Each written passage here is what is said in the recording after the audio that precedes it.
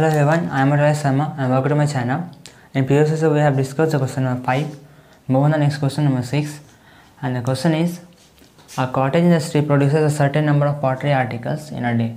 किसी particular day में cotton industry कुछ प्रोडक्ट आपको प्रोड्यूस करता है article and it was observe on a particular date किसी एक दिन हमने ऑब्ज़र्व किया that the cost of production of each article एक आर्टिकल का कॉस्ट ऑफ़ प्रोडक्शन जो है आपका क्या है three more than the twice the number of articles तीन ज़्यादा है। ओके? तीन ज़्यादा है। किससे? नंबर ऑफ़ आर्टिकल्स उस दिन पे। तो फाइंड करना और कॉस्ट ऑफ़ प्रोडक्शन आपको दे रखा है कितना? Ninety then find the number of articles produce and the cost of each article okay तो मान लो पहले। क्या लिखोगे आपका? लेट किससे कंपेयर किया भाई?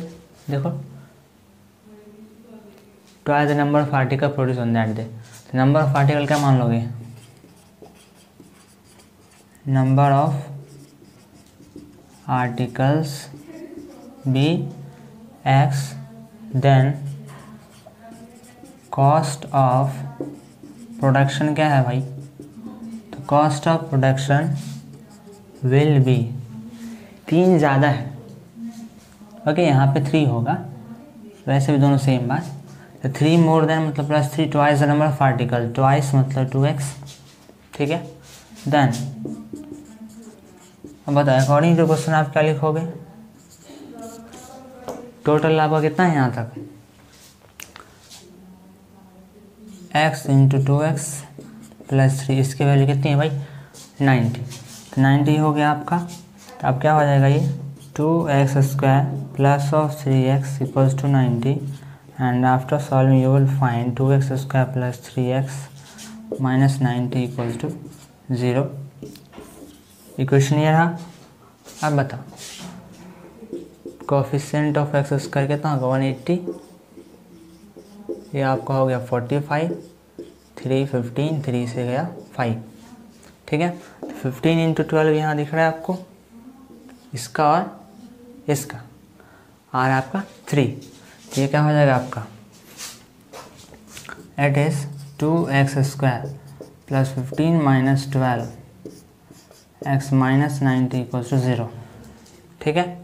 थोड़ा सा सॉल्व करते क्या हो जाएगा? Two x square plus fifteen x minus twelve x minus ninety equal to zero clear अब यहाँ पे आप कॉमन लोगे टू एक्स ये हो गया एक्स सॉरी हाँ कॉमन ही लेनी है। एक्स ही कॉमन आएगा आपका। ये हो गया टू एक्स प्लस फिफ्टीन और यहाँ पे माइनस ट्वेल्व कॉमन लोगे तो माइनस ट्वेल्व आपका कॉमन आएगा क्या? नहीं आएगा। तो क्या कॉमन आएगा देखो? फोर कॉमन ले सकते हो, और सिक्स कॉमन लोगे तो माइनस सिक्स कॉमन लोगे तो क्या सिक्स टू ज़ा हो जाएगा फिफ्टीन इक्वल्स टू ज़ीरो इसका काम नहीं है, इसको तो मैं कर रहा। ठीक है? अब ये क्या हो जाएगा? टू एक्स प्लस फिफ्टीन, ये आपका हो गया x minus six equals to zero. That imply यहाँ से आपको आई two x plus fifteen equals to zero और x minus six equals to zero. ठीक है? अब यहाँ से एक्स की वैल्यू क्या आ गई? सिक्स। और यहाँ से आपको टू एक्स आ गया माइनस फिफ्टीन। यहाँ से एक्स की वैल्यू आ गई माइनस फिफ्टीन बाई टू। अब बताओ आर्टिकल्स का नंबर क्या हो सकता है? निगेटिव नहीं या क्या लिखा होगा since number of articles can not be negative so x equals to six ठीक है? एंड कॉस्ट ऑफ़ प्रोडक्शन क्या होगा? कॉस्ट ऑफ़ प्रोडक्शन क्या था भाई? टू एक्स प्लस थ्री ये क्या हो जाएगा? Two into six plus three क्या हो जाएगा? Fifteen. It will fifteen six और फिफ्टीन हो गया। क्या लिखोगे finally hence we get